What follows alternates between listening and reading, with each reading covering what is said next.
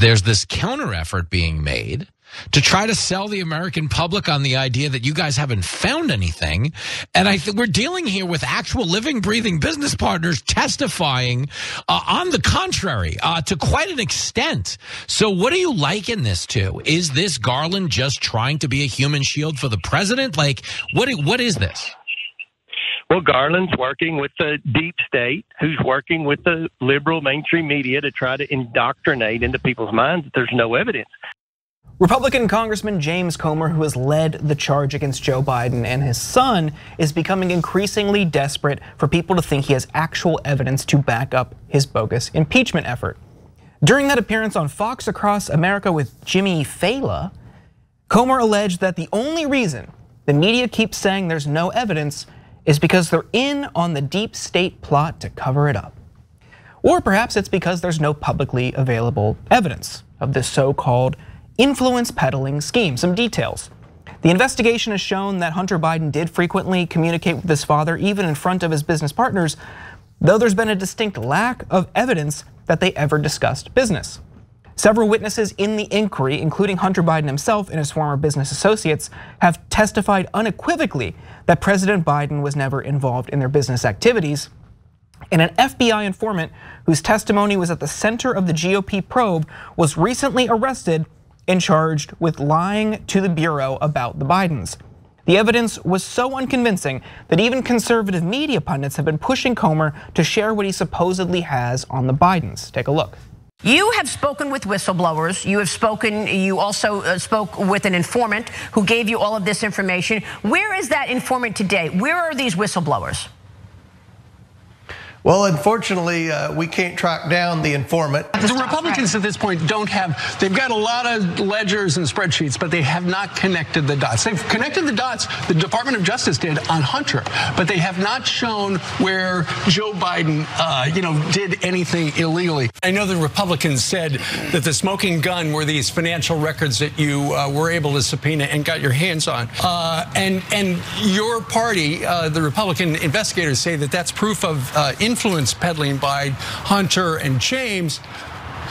But that's just your suggestion. You don't actually have any facts to that to that point. You've got, you've got some circumstantial evidence. But there's no evidence that Joe Biden did anything illegally. Now, other House Republicans clearly have no faith that anything is going to materialize. Representative Tim Burchett said last week he thought the House should vote on whether to impeach Biden or not so that they can all just move on. We're not going to have the votes. That's clearly the case, Burchett said, and I don't think we ever did, which is probably why Comer seems to be wrapping up and moving on. On Monday night, Comer finally started to change his tune, moving away from language about impeachment. In a fundraising email, he wrote, It's clear Democrats will choose their party over their country and the truth at every turn. They should be ashamed of themselves. That's why I am preparing criminal referrals as the culmination of my investigation with the hope of the Justice Department prosecuting Biden if Trump returns to office. This is a far cry from his originally stated goal, which was to impeach and ultimately remove Biden from office.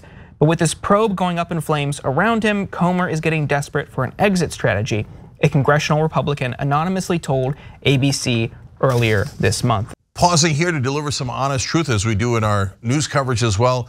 TYT is facing challenges, guys, as the entire industry is. You know who could make the difference? You. If you hit the join button below, it's gonna make all the difference and keep us in business. We appreciate you. Thank you. Do you two think this will actually lead to anything hitting Biden? Will the criminal? Will there be criminal referrals even? What What do you make of this? It's absurd. I mean, it's, it's just absurdity, and and they're starting to realize the absurdity of it. I mean, it, it's a great show, and a lot of these. A lot of what happens on Capitol Hill is theater, you know, and the, this, this uh, well, the immigration question, the Mayorkas impeachment, the impeachment uh, that they're pursuing against Biden. These are, this is a piece of the GOP theater, but it's been going on for a long time. It's embarrassing. At some point, that embarrassment starts to take on a stink, and they're the feckless nature of this House anyway. They can't get anything done. I think that starts to spill over too. So you put that all together, and it's a one big embarrassing mess. Look.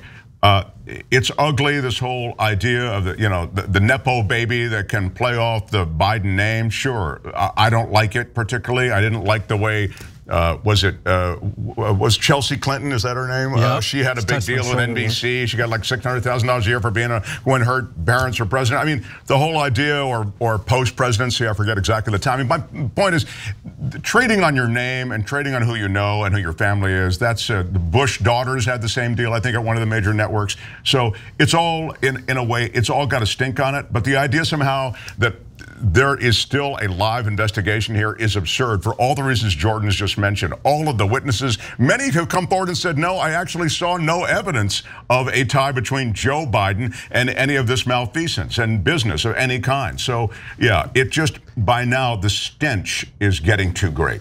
Yeah, the theater put on. So we have two very similar attempts, or at least promises made. we had the Democrats who were going to promise to hold people accountable for their role in January 6th. And we have the Republicans who promised to hold people accountable whose last name is Biden, right? So the the theater put on by the Democrats when they were doing the January 6th hearings was phenomenal. It was orchestrated so well. Even no matter what side you're on, you can't deny that between like the Raskins, all the people that were doing the grilling, it was it was just popcorn television. It made C-SPAN great again. It was fantastic. And the Republicans can't put anything together. They can't even go on Fox and Friends and get Doocy to go along with it. Like you've lost Doocy, you've lost the world. Like they, they're trying so hard, and I've already gotten what I want. I've seen Hunter get Biden's penis. I've seen him. He seems so, and he seems so cool. I like Hunter Biden more now. I hate nepo babies. I don't like. I, when Jenna Hager Bush got that NBC contract, I want to flip over a table. I was like, I wonder why. Abby Huntsman, Chelsea Clinton. I like her. She touched my shoulder once the Vagina Monologues. It was great. But I want. I don't like. I I I ended up liking Hunter Biden after this because he just knows how to party. and, and they're responsible for it. I would not have thought Hunter Biden was that cool unless the Republicans tried to convince me this guy was not. He's Hunter Biden's doing all the things that all those right-wing d-bag toxic podcast hosts tell me to do when they sneak into my TikTok algorithm. like when this started, initially I was like, okay, sure. I'll I know why they're doing it. They're doing it to create some sort of scandal that they want to tie to Biden before the next election. You know, just as the Democrats were immediately out of the gate looking for stuff with Trump and then Obama. It's just how politics is now. It's sad, but that's how it is.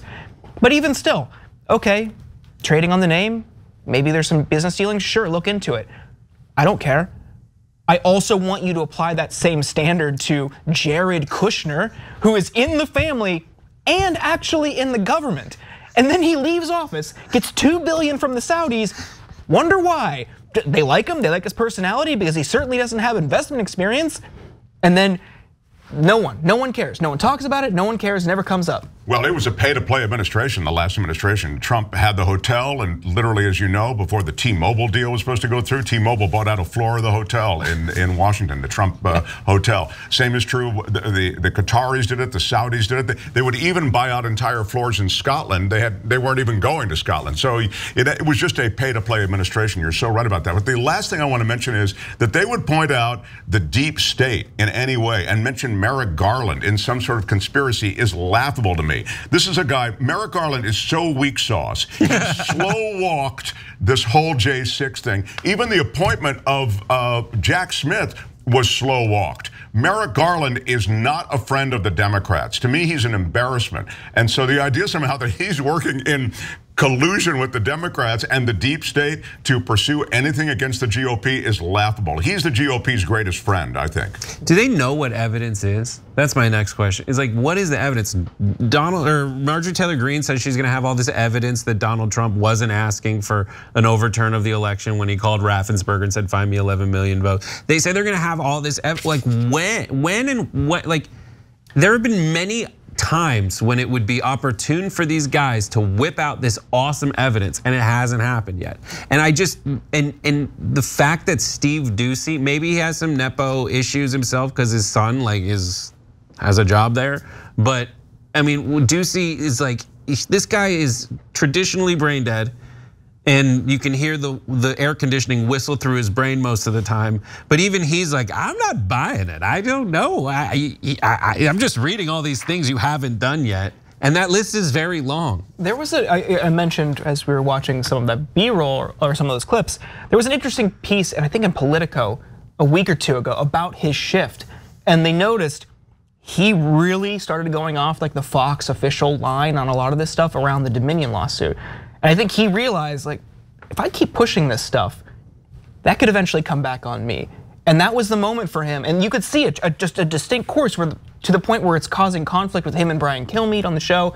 You could see the reactions in those clips. They're looking at him like, you're not supposed to be saying this. Yeah. Yeah, but, it is. By the way, the reactions of the others on that panel make that clip viewable over and over and yeah. over again. It's exactly what you're talking about. Yeah. Thanks for watching The Young Turks. Really appreciate it. Another way to show support is through YouTube memberships. You'll get to interact with us more. There's live chat emojis, badges.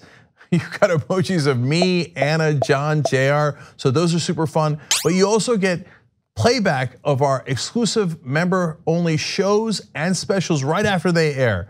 So all that, all you gotta do is click that join button right underneath the video. Thank you.